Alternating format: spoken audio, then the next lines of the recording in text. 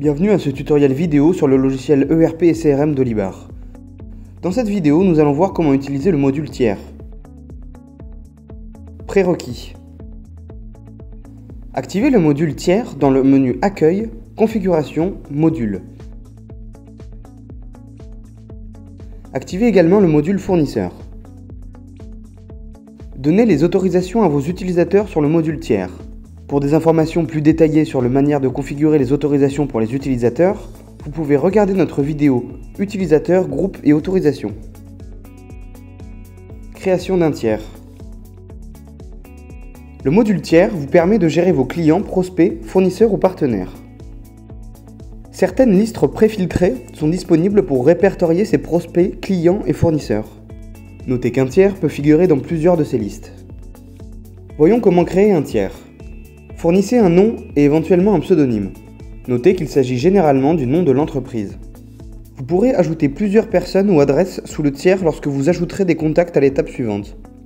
Choisissez si le tiers est un prospect, un client ou un vendeur. Indiquez son adresse, ses coordonnées et autres caractéristiques comme le type et l'entité juridique. Téléversez un logo si nécessaire. Un code client au fournisseur peut être attribué automatiquement ou manuellement pour chaque nouveau tiers, tout comme le code de comptabilité si le module comptabilité double partie est utilisé. Notez que vos tiers peuvent également être facilement importés à l'aide du module import. Tiers, caractéristiques du module. Une fois le tiers créé, vous pouvez naviguer dans l'onglet Contact pour ajouter des personnes qui sont des représentants du tiers ou des adresses alternatives comme une autre adresse de livraison ou l'adresse d'un service comptable.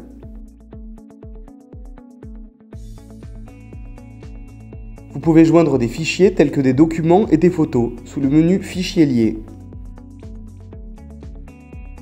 Si le module Notification par email a été activé, alors dans l'onglet Notifications, vous pouvez définir les personnes qui doivent recevoir des notifications par email pour des événements d'Olibar spécifiques à ce tiers. Des doublons ont été créés pour un tiers, utilisez le bouton Fusionner pour fusionner les entrées.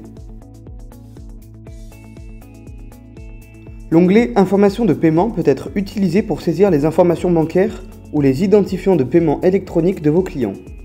L'onglet Événements ou Agenda vous donnera une liste complète de tous les événements passés et à venir liés au tiers, tels que la création, la mise à jour, la facturation, les emails envoyés, les appels téléphoniques, les réunions prévues, etc. En activant d'autres modules, d'autres onglets et boutons seront ajoutés à la page tiers, offrant plus de fonctionnalités comme par exemple le module Proposition commerciale, Commande et Facture. Des informations supplémentaires sur ces fonctionnalités sont disponibles dans les tutoriels vidéo correspondants de ces modules. La page Contact affiche la liste de tous les contacts ou adresses alternatives.